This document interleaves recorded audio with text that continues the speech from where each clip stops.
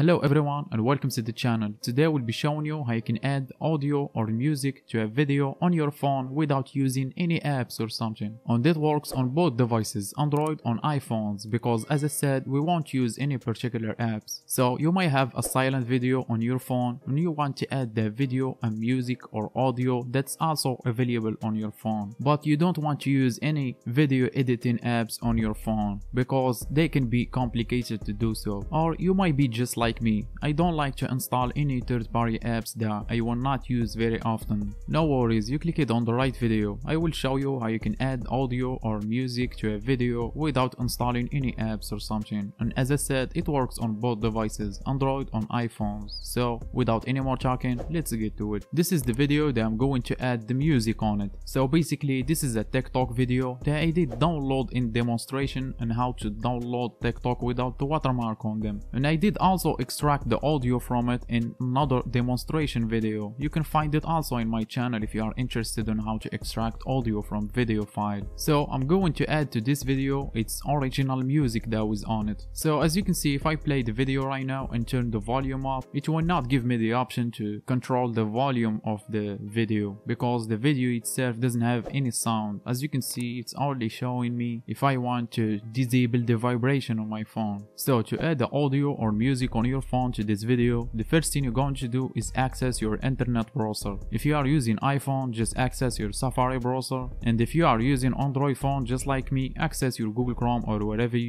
use. After you access the browser, tap on URL and type in voice2v.com slash add dash audio dash to dash video. No worries, you can see it on the screen right now and I will also put link for it in description. If you are watching this on your phone, just scroll down description and tap on the link. After you have accessed the website, just scroll down a little bit and you should see a button says upload your video. Tap on it and choose the video that you want to add an audio or music to it. After you have picked your video, another button will show up on top of it. It says upload an audio file. Tap on it and choose the audio or the music that you want to add to this video. So I'm going to pick the audio that I did extract from this video itself. After that, you should see a blue button says add audio to the video video now. Tap on it and give it a moment to process the video for you. And you should see your video is uploading and processing. And the time that will take to process the video, it depends on the video length. If the video is long, it will take much longer time. My video is only 30 seconds long, so as you can see, it didn't take much. So after it's completely processed, you should see a message says your video has been created successfully and below it a video player. So right now just scroll down and play the the video and it should has your music on it. As you can see once I play it and turn the volume up it gives me the option to control the volume on the video.